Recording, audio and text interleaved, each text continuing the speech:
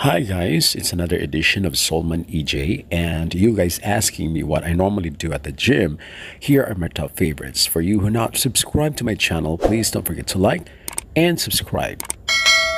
Here's my routine at the gym. One of my favorites is the pull-up.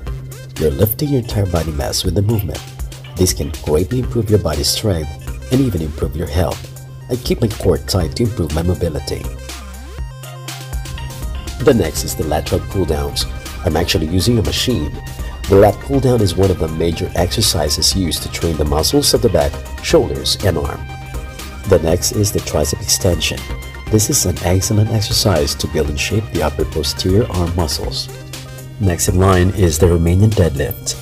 I'm actually using a semi deadlift. This is a great option for people who want to increase hip mobility and target the glutes. Another favorite of mine is the barbell row or barbell bent over row. It's a strength exercise that works the back muscles. It's a challenging lift to perform, but one of the most effective exercises for building back strength. My personal favorite is the barbell squats are the only exercise that directly strengthens your posterior chain muscles. These are the hamstrings, the glutes, and the adductors. A stronger posterior chain muscle group will also increase your ability to jump. To finish the job is the hanging leg raises.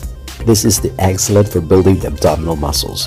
The effectiveness of this exercise at strengthening the abs appears to be excellent.